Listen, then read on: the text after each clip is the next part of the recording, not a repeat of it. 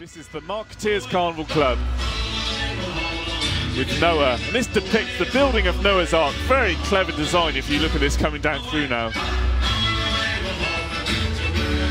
course, Marketeers now known for the LEDs. They did it last year with Battle of Atlantis. I think they bought an extra, God knows how many thousands. And then we've got this, the music. Haul Away Joe from the Fisherman's Friends, or by the Fisherman's Friends. Yeah, brilliant entry. I thought this was very close to be winning the other night, so it may be well a first prize winner this year, I think. And of course, they were the innovators last year with the LEDs. There was Battle of Atlantis, which was second in Bridgwater and third in the county. 55 years in Carnivals and Blake Arms in Bridgwater.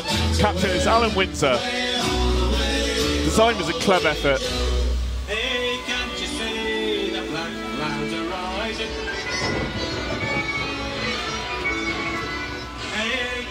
See the storm clouds are gathering? Away, the the Actually, the, the lights come on as it hits the beat. That's clever, isn't it? See that?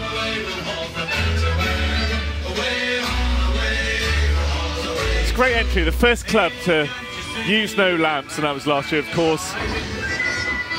Look at that, that's good. The, the, the lightning, if you got that on the screen, the white lights flash when the lightning happened. Look at the screen, a brilliant entry. I, I, I thought this might have been the winner the other night. It, it may well do around the circuit. And also the other original design this year.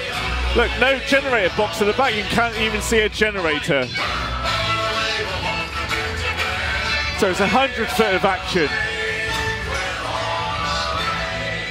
So that's Noah from Marketeers Carnival Club.